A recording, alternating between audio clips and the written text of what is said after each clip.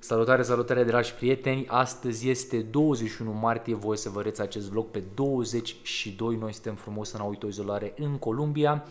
Uh, situația de aici este următoarea, mm, sunt 196 de cazuri, nici un mort, iar în vlogul de astăzi o să facem o chestie specială, am intrat în contact cu mai toți travel vloggerii din România care nu se află în România în momentul de față, mi-au trimis fiecare câte un clip de câte 3-4 minute și am zis că ar fi interesant să vă arăt și vouă situațiile uh, în care se află ei și de ce mai toți au ales să nu vină în România în ciuda recomandărilor uh, Ministerului Afacerilor Externe.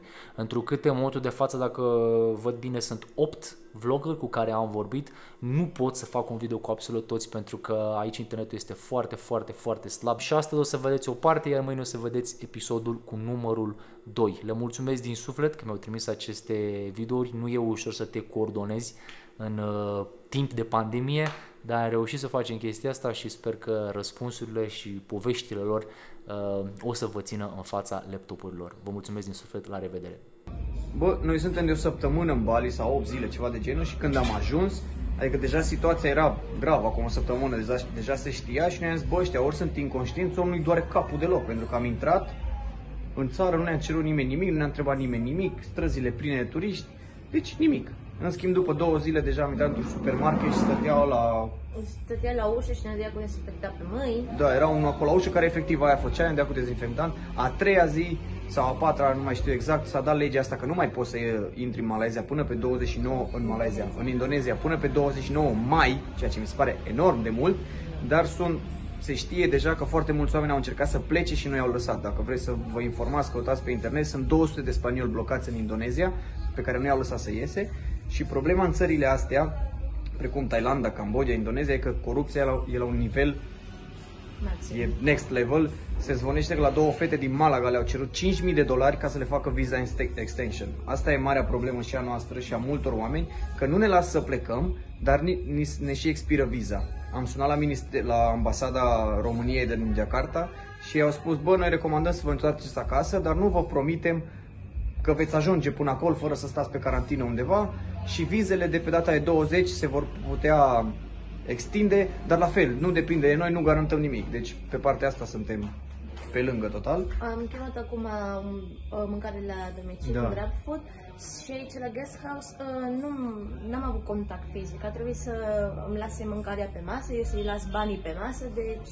Da, nu, nu, nu s-au văzut. Și scrie asta și în aplicație, să nu, să nu fie contact deloc. De situația e din ce în ce mai gravă, deși aici nu e panica care se vede în Europa. Lumea nu se bate pe mâncare, lumea încă e afară, mai puțin decât de obicei. Frica cea mai mare pentru turiști este că localnicii deja încep să fie geană pe noi, deja ne văd ca un pericol, nu ne mai văd ca până acum ca o sursă de venit și acum cu o simplă răceală sau nu știu, un strănut, ai șansa să nu mai poți fi cazat la hotel sau să te scoată afară cu forța, nu știu, răcești de la aer condiționat sau orice tâmpenie și o să te dea afară cu forță, să aruncă toate catrafusele afară. Și asta e o mare problemă și asta ne îngrijorează cel mai tare. Noi nu avem intenția să ne întoarcem în România, că suntem plecați de multe luni, dar nu mi-ar place să stau aici atâta timp. Și mă gândesc la cei care sunt turiști, că din partea ministerilor de afaceri exterioare sau ce ăsta au cerut să vină toți acasă, dar ei nu garantează nimic. Sunt foarte mulți oameni pe aeroporturi, situația e nașpa, ă, incertitudinea asta te ține cu nervii la pământ, primești foarte multe informații, nu știi de care, după care să te iei și e adevărat că de câteva zile noi nu prea mai facem nimic, chiar dacă afară e cât de cât liniște comparând cu Europa, ți se cam ia cheful de orice. Salutare! Sunt Marian Borcea. Unii dintre voi mă cunosc din vlogurile lui Cătălin din Columbia de anul trecut sau de pe canalul de YouTube Gătește Ușor, unde filmez alături de Camelia. De 11 zile sunt în vacanță în Mauritius, o insulă din Oceanul Indian. Însă sunt blocat aici, din data de 20 martie s-a instituit starea de urgență timp de două săptămâni odată cu descoperirea primelor trei cazuri de COVID-19. La data filmării acestui clip s-a ajuns la un număr de 12 persoane infectate cu acest nou virus. Niciun avion cu turiști străini nu are permisiunea să aterizeze pe insulă. Resorturile s-au închis, iar turiștii existenți pe măsură ce au găsit un zbor disponibil au plecat. Practic, Mauritius este o insulă închisă.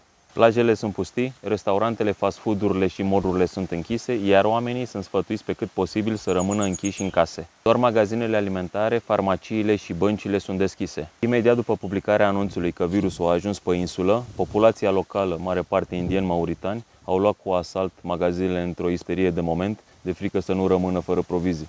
Fiind o insulă, Mauritius depinde de aprovizionarea cu alimente de pe continent. Totul aici este importat din exterior.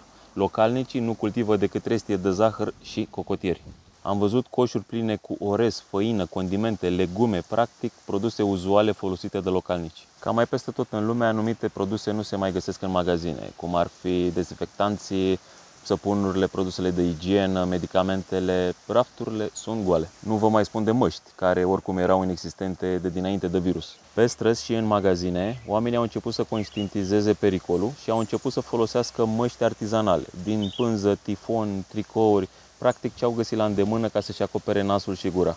Sistemul medical lasă de dorit, este subdezvoltat. Sub nicio formă nu mi-aș dori un tratament într-un spital de aici. Începând de astăzi, s-a dispus măsura limitării deplasărilor fără o urgență anume începând cu ora 20. Poliția monitorizează toate aceste limitări, amendând pe cei ce le încalcă.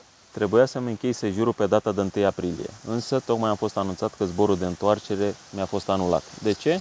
Deoarece aceste restricții sunt valabile până în data de 3 aprilie. Cu alte cuvinte, sunt blocate în Mauritius.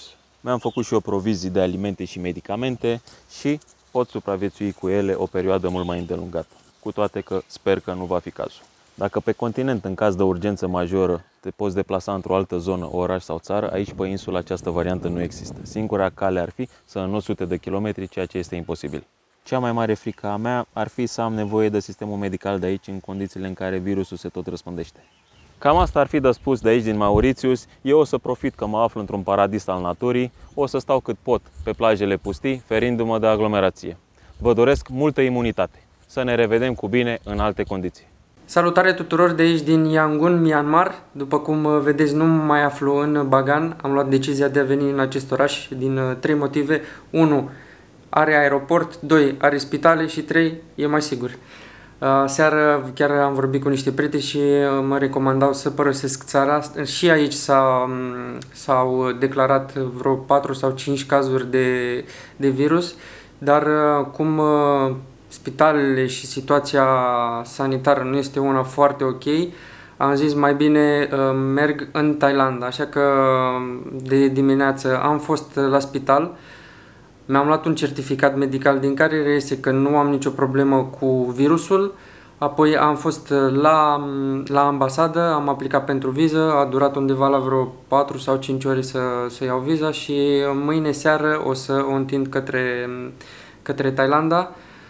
O să stau vreo două nopți în Bangkok, după care merg în Krabi. Am ales Krabi pentru că, de asemenea, și acolo e un spital, uh, e mai puțină lume, nu ca în Phuket sau în alte, în alte zone și nu, s-a, nu s-ar fi anunțat niciun caz de, de virus, așa că o să, o să merg în, în acea direcție.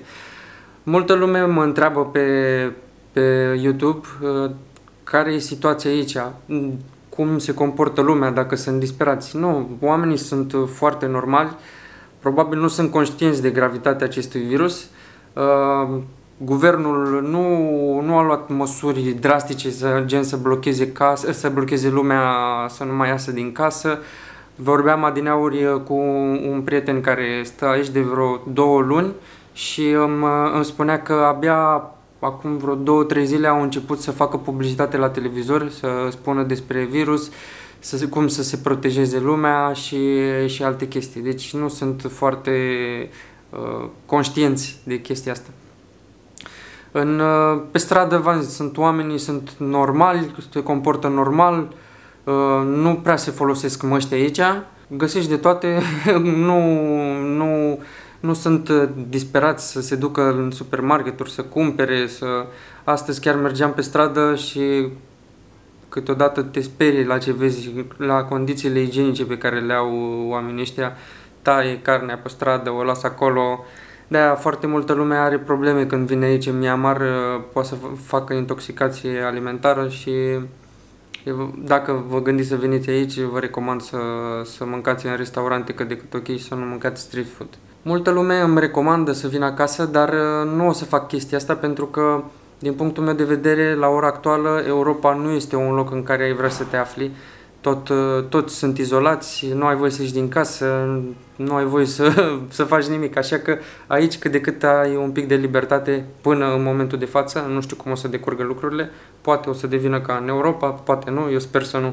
Dar o să mai rămân în această zonă a Asiei de Sud-Est o perioadă, o lună, două, după care aș vrea să schimb țara. Nu știu, acum o să văd cum, cum decurg lucrurile în continuare. Așa că în Myanmar e ok situația, urmează să se închidă și această țară, nu se știe când, dar uh, mai bine să te afli într-o, într-un loc uh, mai ok cu un sistem sanitar bine pus la punct decât uh, în această țară. Am un mesaj pentru românii de pretutindeni. În aceste timpuri destul de grele, singurul lucru pe care îl putem face este să rămânem uniți, să avem grijă de familiile noastre și de prietenii noștri și de toată lumea care ne înconjoară și uh, sunt sigur că timpul uh, va rezolva toate aceste probleme, așa că aveți grijă de voi.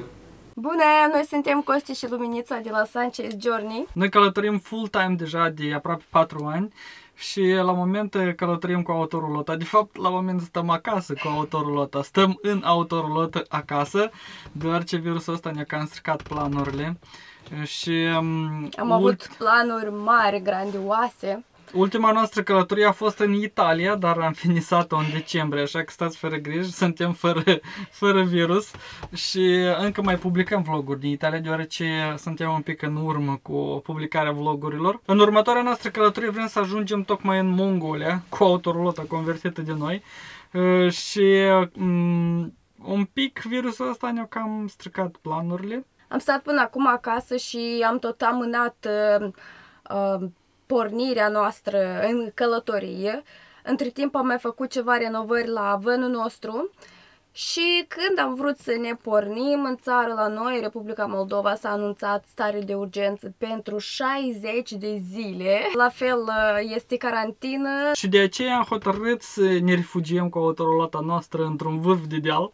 Am venit la Orheiu vechi și uh, pur și simplu ne bucurăm de natură, că e o vreme destul de frumoasă afară și cu autorul noastră prindem o mare plăcere să petrecem acest timp în natură. Da, ne stărim să evităm uh, orice contact cu oamenii, uh, mulțimile, adică nu sunt mulțimi, dar sunt așa.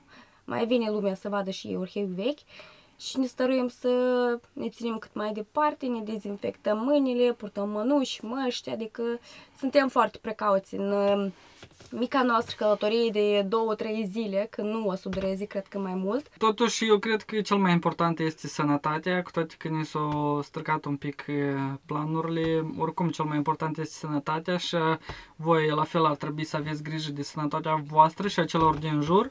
Uh, și cel mai bine acum să stăm așa mai refugiați un pic mai departe de, de oameni în, în perioada asta cât e pandemia mondială și să respectăm uh, recomandările statului și a medicilor. În Republica Moldova sunt 66 de cazuri de infectare cu uh, noul virus COVID-19 și um, e destul de rea situația și aici. Totul este închis cu excepția magazinelor uh, alimentare și farmaciilor și spitalelor. Um, lumea mai circule, mai sunt oameni pe drum, dar oricum nimeni nu lucrează, totul este închis și cam totul este blocat. Ne gândeam zilele astea să plecăm chiar în călătoria aia mare și era riscul să fie vămile închise pentru că au anunțat că or să închidă toate vămile și s-a dovedit că de fapt nu s-au închis toate și mai mai să ne bucurăm că da, plecăm, plecăm, dar ne este frică că vom rămâne pe undeva închiși pe, uh, în carantină pe vreo două săptămâni. De aceea am da, zis că totuși, mai stăm acasă și stăm în siguranță. Totuși, pentru siguranța noastră și a tuturor, mai bine totuși stăm acasă, chiar dacă sunt deschise vămile. Da, dar... cel mai bine ca să nu se răspândească, să nu Sper Există să, riscul ăsta. Sper să rezolvi în curând uh, situația asta și să mergem și noi în călătorie, că avem planuri foarte mari pentru călătoria noastră în, uh, către Mongolia.